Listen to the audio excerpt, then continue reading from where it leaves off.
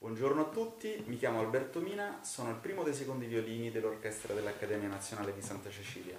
Io resto a casa come tutti i miei colleghi e naturalmente in questo momento così difficile, oltre a studiare il violino e a stare con la mia famiglia e a dedicarmi ai miei hobby, le piante, il, il pianoforte, che è un altro strumento che amo tantissimo, eh, cerco di trasformare positivamente questo tempo che abbiamo dentro casa per riflettere, per stare con la mia famiglia.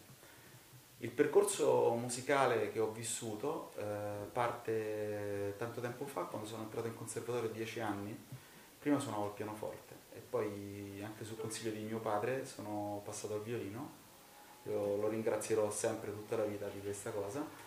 E ho, dopo 10 anni di conservatorio sono entrato in orchestra Santa Cecilia, ero molto giovane, avevo 22 anni e ormai sono 30 anni che sto lavorando dentro l'orchestra, e ho vissuto insieme ai miei colleghi questo percorso che ha visto una crescita artistica esponenziale dell'orchestra, con grande soddisfazione devo dire, eh, ci troviamo adesso a un, a un livello internazionale con l'orchestra e sono cose che fanno veramente piacere.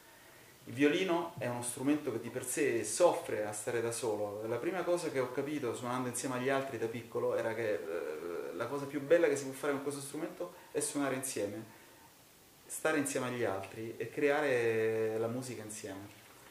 E a tale proposito vi mando un piccolo brano di Elgar che ho realizzato col mio amico d'infanzia, appunto Michele D'Ambrosi, un pianista con cui suono da sempre. E per un concerto che abbiamo realizzato a favore della ricerca medica. E il brano è un brano di Elgar e si chiama Salute More. E un saluto anche a tutti voi sperando di rivedervi prestissimo.